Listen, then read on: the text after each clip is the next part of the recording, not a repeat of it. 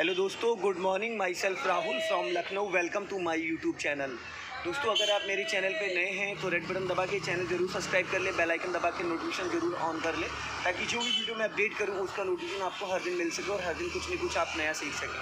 मेरे चैनल पे आपको ड्राइविंग से रिलेटेड मैकेनिकल से रिलेटेड सेकेंड हैंड कार से रिलेटेड स्ट्रीट वीडियोस मिलती रहती हैं। तो मेरे साथ मेरी स्टूडेंट है, मैं उनका नाम जान लेता हूँ, क्या नाम है, कौन सा डे है और किस प्रोफेशनल में है। हेलो मैम गुड मॉर्निंग क्या नाम है आपका? ओके कौन सा डे आज आपको ड्राइविंग करते हुए? सेवेंटी डे ओके अभी तक आपने कौन कौन से गियर में कार को चलाया है? First second third reverse okay तो अभी आप रेडी हैं? आपने सीट एडजस्ट कर ली? सीट बेल्ट लगा लिया? चलो अभी इंजन ऑन करो क्लच दबा के। अभी हैंड ब्रेक छोड़ दो हैंड ब्रेक का रोल खत्म है। क्लच दबा के इंजन ऑन करो। हाँ हो गया? अभी देखो यहाँ पे कोई साइन आ रहा है? नहीं आ रहा है। इसका मतलब हैंड ब्रेक अनलॉक हो चुका है। अभी आप फ़र्स्ट गियर में ऑलरेडी हैं? फ़र्स्ट गियर तो डाल दिया आपने। डल लगा हुआ है फ़र्स्ट गियर। फ़र्स्ट गियर लगा हुआ है। हम्म। अभी राइट का सिग्नल दीजिए ताकि पीछे वाले को ये कंफर्म हो जाए ना कि ये गाड़ी वापस चलने जा रही है। बिना सिग्नल के बढ़ा दोगे तो पीछे वाला कंफ्यूज हो जाएगा। अभी स्ट्रेट चलना है। हल्का सा राइट दबा के और जाने दो।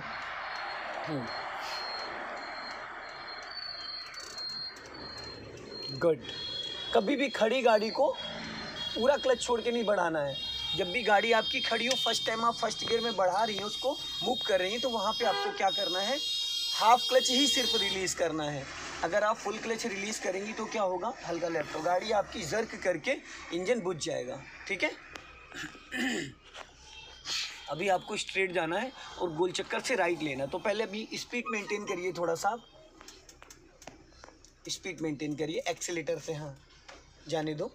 जाओ। हाँ। जाने दो स्पीड बढ़ाओ, थोड़ा सा हल्का लेफ़्ट आओ। चलो रेस करो। अभी सेकंड गियर की स्पीड नहीं है ना?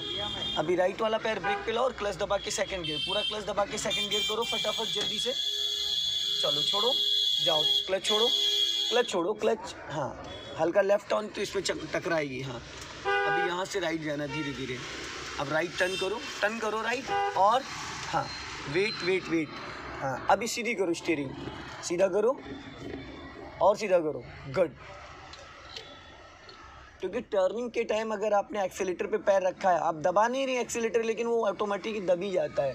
बॉडी जब हिलती है या कोई हड़बड़ाहट से घबराहट की वजह से दबाना चाहते हैं ब्रेक और दब जाता है एक्सीलेटर। तो ऐसी कंडीशन में फिर भीड़ में भिड़ने के चांसेस हो जाते हैं। तो हमें करना क्या है कि जब भी हम कार को कहीं पे टर्न कर रहे हो या किसी स्पीड ब्रेकर को क्रॉस कर रहे हो या कोई गोल चक्कर को क्रॉस कर रहे हो तो वहाँ पर आपका राइट वाला जो पैर है वो ब्रेक पे होना चाहिए। ब्रेक पे होने का मतलब ये है कि जो आपके पैर का वेट भी अगर हल्का फुल्का ब्रेक भी दब जाएगा ना एक दो परसेंट तो उससे कोई दिक्कत नहीं। होगी। और अगर आपने एक्सीलेटर पर रखा है और आप दबाना चाहते तो बॉडी की मतलब दबाने की बजाय भी पैर रखने से भी हल्का सा पैंडल पुश हो जाता है। एक्सीलेटर बहुत स्मूथ होता है। अभी जाने दीजिए। हाँ हल्का लेफ़्ट आ जाओ। चलो। और लेफ़्ट आओ। राइट रखो। गुड बस अपनी साइडों का हमेशा ध्यान रखिएगा। अगर आप राइट और लेफ़्ट वाले मिरर को चेक नहीं करेंगे तो आपको शायद वो नहीं पता चल पाएगा। राइट रखो और राइट दबाओ। आप सामने लोग खड़े हैं ना तो बिफोर प्लान करना है, पचास से सौ मीटर पहले। और लेफ़्ट आओ, हल्का हल्का लेफ़्ट आओ हाँ। थोड़ा बिफोर जब प्लान करेंगे ना तो आपको आइडिया लग जाएगा कि आपके लेफ़्ट वाले मिरर में कितना परसेंटेज है राइट वाले में कितना है। हल्का राइट रखो। मैंने राइट का, आपने लेफ़्ट काट दिया। देखा? मैंने क्या बोला आपको? हल्का? और आपने किधर घुमाई स्टेयरिंग बस ये कंफ्यूजन नहीं होना चाहिए। सारा गेम तो यही है हल्का लेफ़्ट आओ।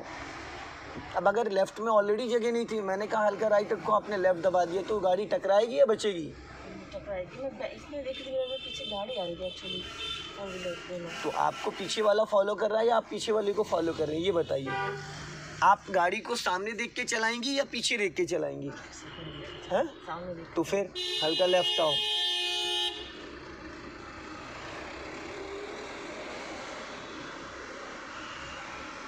जाने दो धीरे धीरे हाँ। हल, हल्का लेफ़्ट आओ स्ट्रेट जाना है हाँ।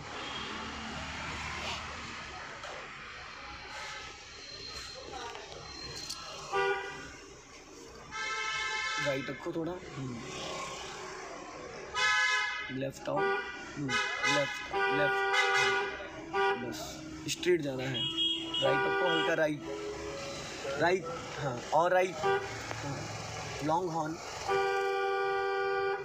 बस बस बस, आ जाओ लेफ़्ट अपने चलो। और स्पीड मेंटेन करो। स्पीड बढ़ाओ थोड़ा सा। जाने दो। वाइट लाइन को क्रॉस नहीं करना है। वाइट लाइन को क्रॉस नहीं करना है। वाइट लाइन से लेफ़्ट वाला जो एरिया है, वो आपका है। राइट वाला जो एरिया है, वो अपोजिट से जो गाड़ी आ रही है। अभी देखो, सामने आपके बस आ रही है। हल्का राइट रखो।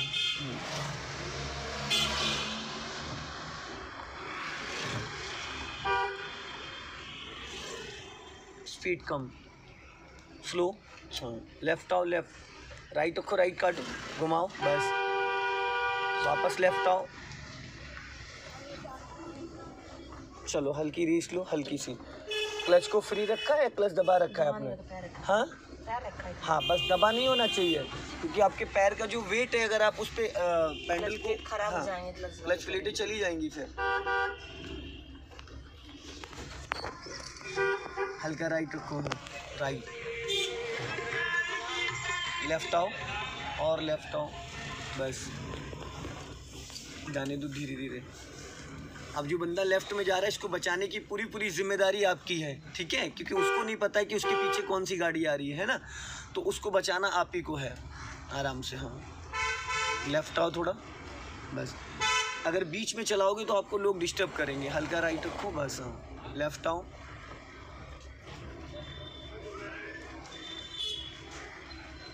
जाने दो धीरे धीरे और लेफ़्ट आओ।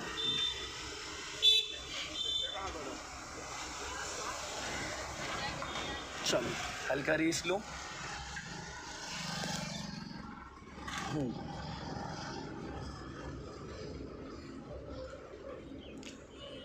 अभी चढ़ाई दिख रही है आपको? यहाँ स्लोपिंग पे गाड़ी में आपसे रुकवाऊँगा, फिर रोक रोक के बढ़वाऊँगा, ठीक है? ढलान पे, जैसे कि हिली एरिया होता है राइट रखो हल्का। हाँ। अभी थोड़ा सा रेस लो लेफ़्ट का सिग्नल दो, फटाफट। रेस करो हल्का एक्सीटर को, गाड़ी लेफ़्ट लेके आओ लेफ़्ट और लेफ़्ट लाओ, रोकना है, और लेफ़्ट लाओ, और हाँ बस यहाँ पे भी रुकना है, पूरा क्लच देन ब्रेक स्टॉप गाड़ी रुक गई? अब देखो यहाँ पे कितनी ज़्यादा चढ़ाई है, हैं? तो अब स्टेयरिंग सीधा करो। अब ऐसी सिचुएशन में बाय द वे कभी आप रुक गए या गाड़ी किसी कारण जैसे मान लो सपोज़ करो अभी आप बेसमेंट के मॉल की पार्किंग से गाड़ी निकाल रहे हो यही कंडीशन होती है ना? अगली गाड़ी जब रुक जाती है तो ऐसे में अभी आपने पूरा क्लच लेके देन ब्रेक लेके गाड़ी तो रोक दी बट अब गाड़ी को जैसे यहाँ से स्टार्ट करना है वापस मूव करना है तो उसके लिए क्या क्या करेंगी आप? ब्रेक नहीं छोड़ेंगे वरना गाड़ी पीछे जाएगी। ब्रेक छोड़ेंगी तो गाड़ी पीछे जाएगी। सबसे पहले यहाँ पे आपको गियर चेंज करना है इसको फ़र्स्ट गियर करो। लेफ़्ट दबा के ऊपर जाओ हो गया? अभी फ़र्स्ट गियर में गाड़ी आ गई क्योंकि गाड़ी को रोक के सेकंड गियर में बढ़ाया नहीं जा सकता ऐसी कंडीशन में ठीक है? ये मैं पैंडलिंग आपको सिखा रहा हूँ। एक होता है हैंडलिंग हैंड ब्रेक वाला एक होता है पैंडलिंग अभी आपने पूरा ब्रेक दबा रखा है और क्लच दबा रखा है। अब आपको क्या करना है? क्लच छोड़ना पहले धीरे धीरे क्लच छोड़ना पूरा नहीं हाफ़ क्लच छोड़ना है जैसे ही। एडी को नीचे दबा के रखो पंजे को आने दो ऊपर धीरे धीरे और आओ और और बस थोड़ा सा और बस और थोड़ा बस अब ब्रेक छोड़ो। छोड़ो ब्रेक धीरे धीरे धीरे एकदम धीरे चावल चावल। फिर रोको पूरा क्लच और ब्रेक क्लच और ब्रेक गाड़ी बढ़ गई। कोई एक्सीटर की ज़रूरत पड़ी यहाँ पे? एक परसेंट भी आपने एक्सीटर दिया। और गाड़ी कितनी चढ़ाई पे है? देखो कितनी ज़्यादा ढलान है नीचे। अच्छी खासी ढलान है हैं? तो अब यहाँ पे क्या करना है? गाड़ी को रोक रोक कर अगर चलाना है ऐसी सिचुएशन में तो सबसे पहले हमको एक चीज़ का ध्यान देना है। आपका क्लच और ब्रेक मैचिंग होना बहुत ज़रूरी है। ब्रेक तब तक नहीं छोड़ना जब तक गाड़ी का इंजन वाइब्रेट ना करने लगे। अगर आपने पहले ब्रेक छोड़ दिया तो गाड़ी पीछे लुढ़क जाएगी। अभी जैसे कि आप ब्रेक छोड़ो थोड़ा सा। छोड़ो ब्रेक। गाड़ी कहाँ छोड़ो? थोड़ा सा। छोड़ो छोड़ो छोड़ो छोड़ो छोड़ो। छोड़ो पीछे जा रही ना? Stop bus. जा रही पीछे। तो ऐसी कंडीशन में गाड़ी पीछे लुढ़क जाती है। तो अभी फिर वही सेम चीज़। ब्रेक पूरा दबाए रहो धीरे धीरे क्लच को रिलीज़ करो। एकदम धीरे धीरे